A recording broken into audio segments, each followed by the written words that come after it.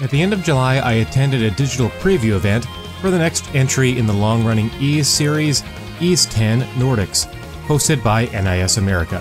Adventurer Adol Christin is back again, and this time his exploits play out on the high seas aboard a ship called the Sandras.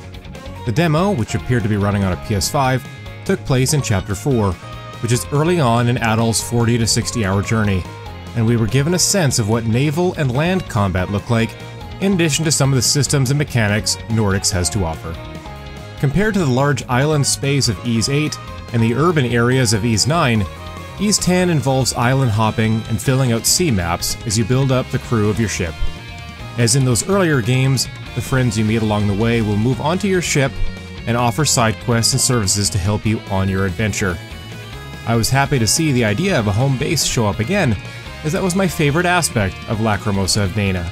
You can also customize your ship, such as bolstering your cannons to make short work of enemy ships and shield towers. During the demo, we saw a recapture battle, where an Adol and his crew sought to take back an island from undead enemies known as Griegr. The second part of the battle saw Adol and his partner Karja take to land to make their way through a brief three-floor dungeon that culminated in a mini-boss fight. The dungeon segment showed off the action combat the E series is famous for, with quick swapping between Adol and Karja and their distinct weapons being one of the key mechanics for successful fights.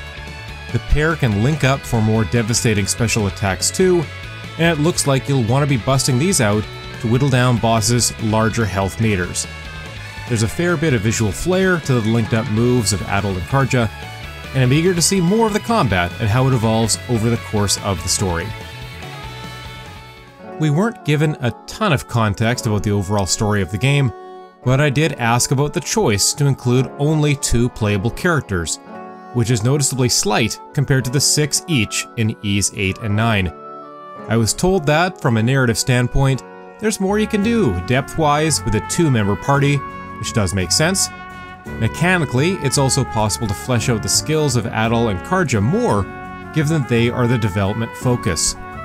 It remains to be seen if a series that generally leans into a more expanded cast will succeed with this slightly new trajectory. As August begins, we're but a few months away from the October 25th release date for Ys 10 Nordics on Switch.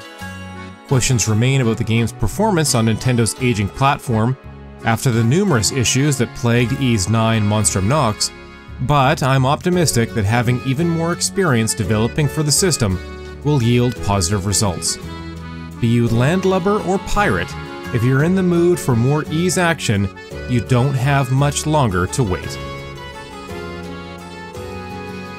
This video was made possible by our generous supporters on Patreon. Did you know that Nintendo World Report is funded directly by fans like you? When you support Nintendo World Report on Patreon, you get immediate access to multiple exclusive podcasts every month, exclusive Discord channels, an early look at select content, and more all for as little as a dollar a month.